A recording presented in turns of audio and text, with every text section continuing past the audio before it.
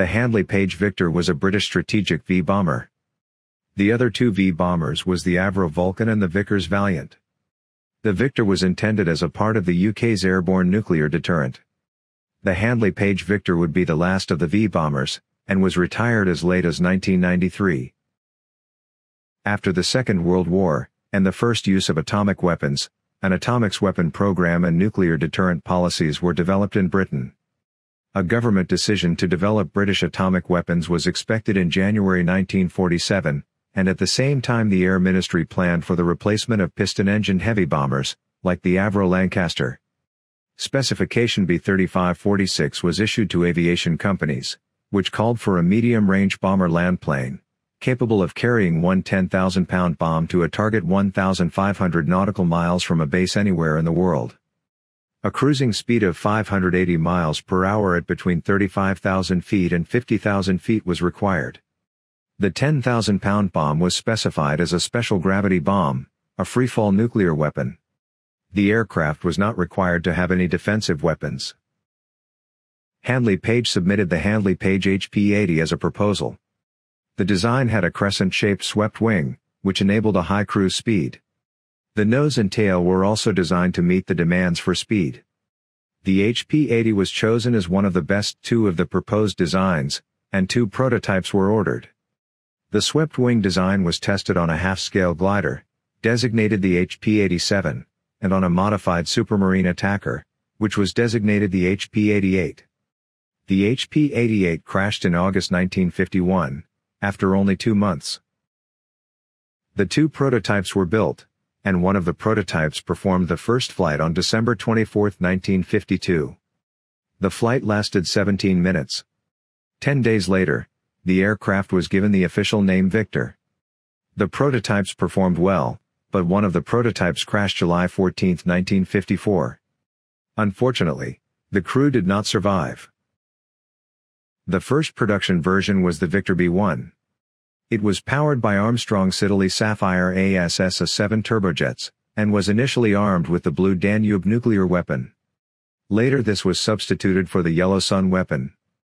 The B-1 could also carry Mark V nuclear bombs, which were owned by the U.S., and the British Red Beard tactical nuclear weapon. 24 B-1s were later upgraded to B-1As, and were equipped with the Red Steer tail warning radar. On June 1, 1956, a Victor B-1 broke the sound barrier, making it the largest aircraft that had reached the speed of sound. The Victor B-2 had Conway RCO-11 engines, which provided more thrust. The B-2 also had extended wingtips, and retractable intakes on the rear fuselage. These intakes provided airflow to ram air turbines, that could provide electrical power in case of emergency situations. The first prototype B-2 crashed on August 20, 1959, during high-altitude tests. The cause was later found to be that the flight control system had forced the aircraft into an unrecoverable dive. A minor change was made to solve this problem, and the B-2 entered service in February 1962. 21 B-2s were later upgraded to the B-2R standard, which were equipped with higher thrust Conway RCO-17 engines, and the ability to carry Blue Steel nuclear missiles.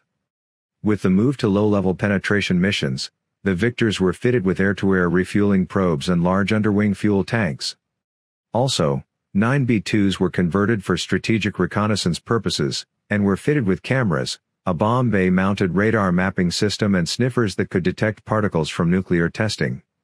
These aircraft were designated SR-2. When Vickers Valiant tankers were retired in 1964, the Victor B-1 and B-1A aircraft were repurposed for tanker duty. The designation of the tanker aircraft was the K-1 and the K-1A. Later, 24 B-2s were also converted to tankers, and were designated the K-2. The Handley Page Victor could carry heavier weapons than the other two types of V-bombers. Among other weapons, it was capable to carry the 22,000-pound Grand Slam or two 12,000-pound Tallboy earthquake bombs, up to 48 1,000-pound bombs or 39 2,000-pound sea mines. The Victor entered RAF service in 1957, and were retired as strategic bombers at the end of 1968. However it served in other capacities until 1993. The Victor was never used as a bomber in combat, but Victor refueling aircraft were involved in bombing missions on Argentine performed by an Avro Vulcan during the Falklands War. Victor K-2 tankers were also deployed in the 1991 Gulf War. In total, 86 Handley Page Victors were produced.